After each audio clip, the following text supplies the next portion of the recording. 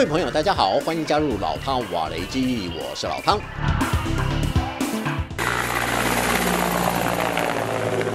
俄罗斯陆航米二八直升机飞往库斯克前线，要阻止乌军在多条战线上的快速推进。库斯克州奇袭战爆发至今超过一个星期，乌克兰国防部宣称各部队在前线取得丰硕的战果，而且按照计划有序地执行各项战斗任务。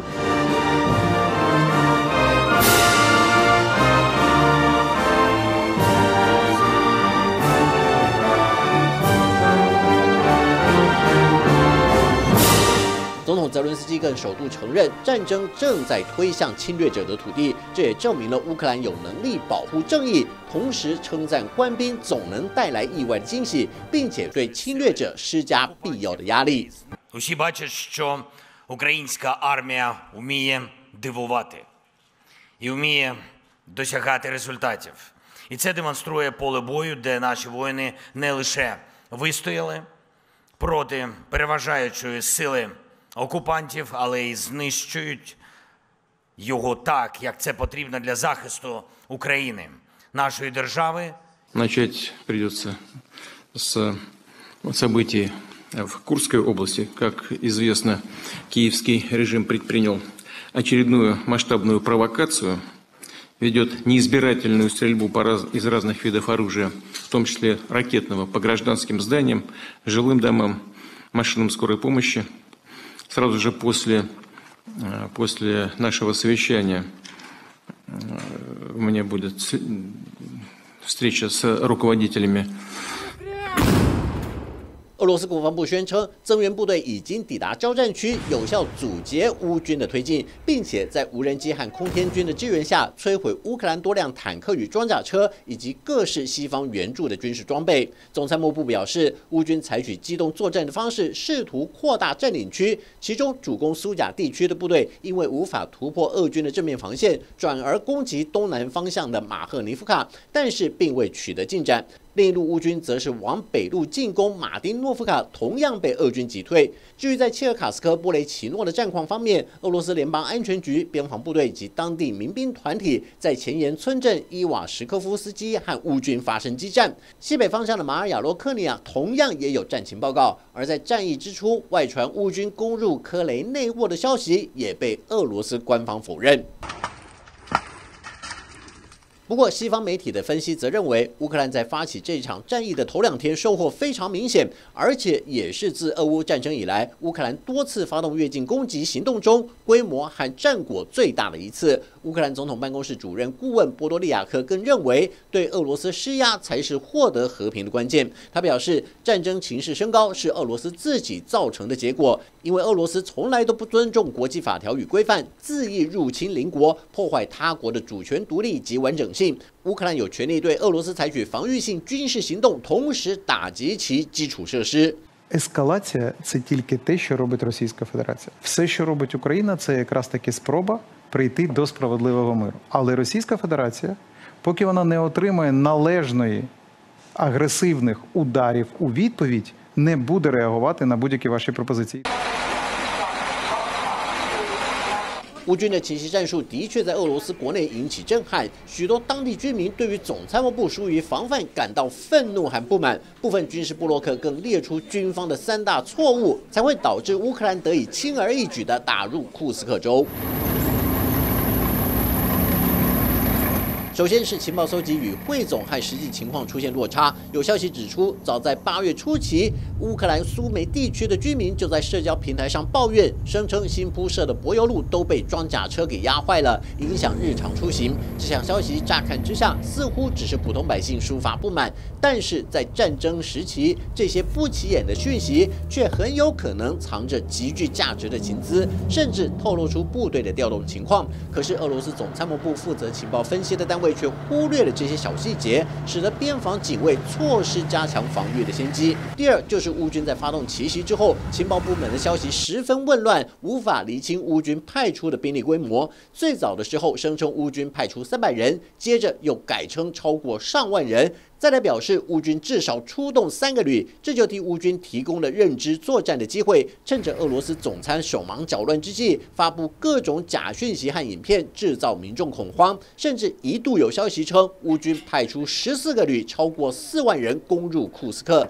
直到前几天才确定，原来乌军只有第二十二旅、第八十八旅和第八十空突旅担任主攻，其他单位则是从各部队抽调的一个营或两个连所担任的第二梯队。这也是战报上之所以会出现这么多部队番号的原因。虽然乌克兰第二梯队已经投入战斗，但是根据估算，目前乌军深入库斯克地区的战斗人数大约在八千人左右。Товарищ Верховный Главнокомандующий, 5 часов 30 минут 6 августа подразделения Вооруженных сил Украины численностью до 1 тысячи человек перешли в наступление с целью захвата участка территории Суджинского района Курской области. 向普京报告最新战况的俄罗斯总参谋长格拉西莫夫也遭到库斯克民众的痛批，认为他在这里部署的防御力量太过薄弱，仅仅依赖配备轻兵器的联邦安全局和义务役官兵是不足以抵挡乌军装甲部队的快速推进，而且没有落实绍伊古担任国防部长期间要在库斯克到比尔哥罗德边界加强防御攻势的承诺，才会让乌克兰找到突破点。尽管部分俄国军事专家出面帮格拉西莫夫缓颊，认为是乌克。克兰片面撕毁国际间不成文的规定，就是俄罗斯和北约不会在这个地区展开军事行动，因为这里正是俄罗斯向欧洲输送液化天然气的必经之地。为了确保供气不受影响，即便欧洲和俄罗斯因为乌克兰战争导致关系恶化，但是并不影响两边维持民生经济发展的需求。可是现在基辅单方面打破这个默契，毕竟这是泽伦斯基做出的决定，不能完全把账算在格拉西莫夫的头上。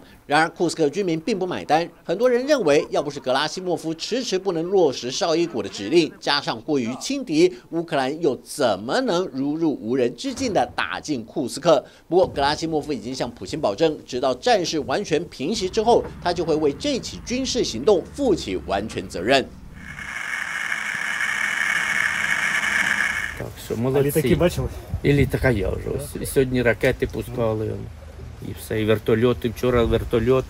俄军在库斯科州被乌军高速机动战术打了个措手不及之后，显然也想讨回面子。现在的报复手段就是利用空天军挂载滑翔炸弹，飞到苏梅地区周边领空，密集轰炸乌军第二线的集结点。这样的做法至少具有两项优势：第一是切断乌军第二梯队轮替第一梯队的安全通道，迫使冲在库斯克最前沿的乌军很难得到后续的食物补给和后援部队的人员替换；其次是乌军的高速奇袭攻势虽虽然推进速度非常迅速，但是这些部队都是轻装上阵，导致后勤支援单位无法以同样的速度跟上，而且乌军又十分仰赖交通线的畅行无阻。现在，俄军空天军为了瘫痪乌军的补给线，不惜以最大的任务遂行能量打击苏梅到库斯克的公路线，就连俄罗斯境内的道路也不放过。由此可见，俄军已经吃了秤砣，铁了心，非得要逼迫乌军消耗到弹尽粮绝之后，届时再来个一网打尽。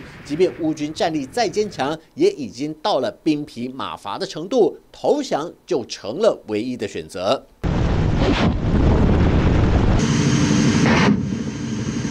不少西方媒体都对泽伦斯基为什么要下这么大的赌注，在库斯克发动一场奇袭战感到不解。除了军事专家认为是要吸引俄军的注意力，来缓解乌东日益恶化的战况之外，德国著名的亲乌克兰记者朱利安·普罗克也提出相同的疑问。他不理解的是，如果乌克兰还有近万名部队和西方援助的精良装备，为什么不用来突破哈尔科夫、卢甘斯克、顿内茨克及扎波罗热的俄军前线？反而要在边境地区另辟一个新的战场？难道基辅的政治精英和军方高层不晓得这些地区的战事已经到了岌岌可危的程度？普洛克甚至预测，乌克兰极有可能在国际舆论及和平谈判的压力下，最终会从俄罗斯的土地上撤出部队。或许不会马上发生，但是乌克兰显然没有叫牌的权利。基辅方面情愿在边境折损上千名官兵，也不愿把兵力投入到亟待支援的乌东战线上，这是他百思不得其解，也猜不透乌克兰政军界心里的深层想法。